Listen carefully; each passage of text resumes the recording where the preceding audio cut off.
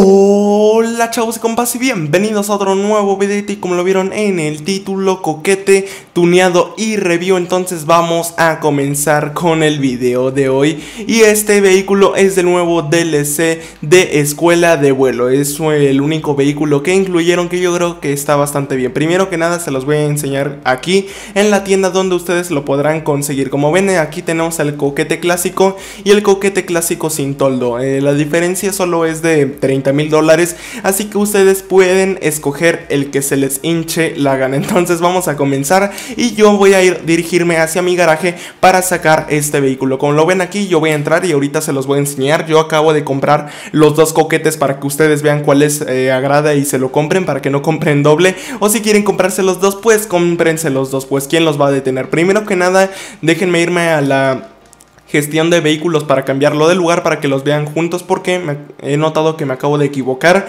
Entonces déjenme cambiar de lugar justo aquí. Ok, ya estamos. Entonces ahora sí, déjenme se los enseño. Como ven aquí tenemos el que tiene toldo y el que no tiene toldo. Eh, una cosa extraña, el que no tiene toldo cuesta más y trae una pieza menos, es algo extraño y el otro cuesta más barato. Yo supongo que es porque este es convertible. Y si se preguntan, oye, pero ¿cuál vas a tunear? Pues voy a tunear el que simplemente el que no tiene toldo. Si se preguntan por qué, porque que es exactamente lo mismo. Y nada más quería enseñarles los dos, ¿eh? como pueden ver ahí pueden escoger al que ustedes les agrade más, el que más les parezca, entonces vamos a tomar este vehículo y nos vamos a dirigir a los Santos Custom para tunearlo y luego vamos a proceder a ir a la carretera para ver cómo se amolda y qué tanta velocidad tiene, entonces déjenme dirigirme a continuación a los Santos Custom para poder modificar este vehículo, ver qué nos permite modificarle y aparte de esto ver qué tan bonito queda, como lo ven yo los compro en rosas si se preguntan por qué, eh, porque soy medio joto. No, no, no es cierto.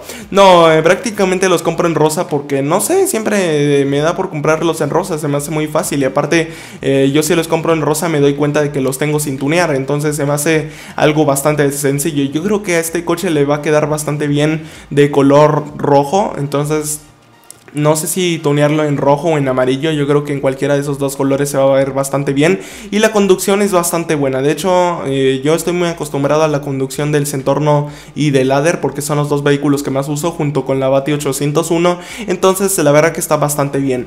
Entonces como aquí, nos, como aquí ven nos dice Invetero Coquete Clásico, Deportivos Clásicos. Entonces vamos a darle a reparar, vamos a ponerle el mejor blindaje, vamos a ponerle los frenitos, vamos a ponerle una defensita, como no, a ver, genial, esto de defensa no lo había visto. A ver, vamos a ver cómo me gusta más. Eh, sin defensa, ingue su madre. De hecho, este vehículo, así con este color, me recuerda un poco al Vice City, no sé por qué. No me pregunten por qué o qué. Entonces, según, eh, no sé, eh, le voy a dejar este de sin defensa y splitter porque se ve bastante bien. Vamos a ponerle el mejor nivel, vamos a ponerle un buen escape, escape lateral, ok. Vamos a ponerle nada de esto, vamos a ponerle un cofre. Oh, genial, esto se ve bastante bien. Se lo voy a dejar porque se ve muy épico. Y le vamos a poner en claxon, la verdad me da igual porque yo uso la tele sin sonido. Así que le pongo el más caro para que me den más dinero si quiero hacer algún truco con él. Le vamos a poner estos faritos. Y ahora vamos a irnos a la parte de las placas y las que más me gustan son las negras, así que eh, vamos a darle. Entonces, color principal, yo creo que aquí le voy a poner un metálico, sí, metálico, eh, pero ¿qué metálico? No sé. Le voy a dar un rojo torino porque me gusta bastante cómo se ve. Y aparte del rojo torino le voy a poner un acarado negro. Entonces déjenme ver para que quede un color bastante bonito. No, el amarillo de carreras también se ve bastante bien, ¿eh? Toma un, colorcito naranja, pero no, yo le quiero poner, a ver, el verde lima, ¿qué tal se ve? Oh, se ve bastante bien, ¿eh? Pero no, yo le quiero poner el negro para que se vea un, rojo así que muy atractivo. Entonces déjenme irme, ok, estaba hasta arriba, ok, vamos a ponerle el negro. Y como lo ven se ve bastante bonito, en serio. Ahora de color secundario, el cromado que tal se le ve, se le ve bien, pero no me agrada mucho. Pero no sé, vamos a ver si el color de crew, eh, pues veo que es exactamente el mismo rojo torino. A ver, vamos a ponerle un color mate negro. Ok, esto combina bastante bien. Bueno, así lo voy a dejar y ahora le vamos a modificar algunas cosas más. A ver, el emblema de la crew para que combine y se vea bonito. Y ahora le voy a poner una jaula de seguridad. A ver dónde es. Oh, qué bonito se ve esto, ¿eh? Queda mucho mejor. A ver, eh, vamos a ver cuánto nos dan por él. Nos dan medio millón casi. Y ahora déjenme mejorarle todo a tope para que tengamos un super vehículo y podamos eh, probarlo, ¿no? Las llantas me gusta cómo se ve así, pero se ve bastante pobre el coche, ¿no? Entonces, esas no me gusta, como que se ven muy grandes las llantas. Entonces déjenme ver una low rider. Yo creo que con una low rider, oh genial, con esto me encantó. Entonces vamos a dejarle este. Vamos a irnos a colores de rin. Vamos a ver cuál le queda. Oh, el rojo, el rojo, el rojo. Oh, genial. Miren qué bonito coche me estoy haciendo. En serio, ahora vamos a ponerle un accesorio de neumáticos y vamos a ponerle el humo de la crew. Y como ven, ya tenemos el vehículo totalmente tuneado. Entonces, ustedes díganme qué tal les pareció. A mí la verdad que me gustó como lo dejé de tuneado. De hecho, se ve muy bonito. En serio, vean qué bonito lo tuneé, ¿eh? La verdad, yo ni me esperaba que lo fuera a tunear tan bonito. Ya les había dicho, el rojo se le va a ver bien, pero qué buena combinación me acabo de hacer con el rojo, ¿eh? La verdad que me encantó. A ver, vamos a tomar una rampita para ver cómo se comporta este más o menos el control. Déjenme decirles que el control es bastante bueno. A ver, eh, no me gusta que me haga eso de las cinemáticas y se manda lagueando el juego. Típico que lagueo en el juego.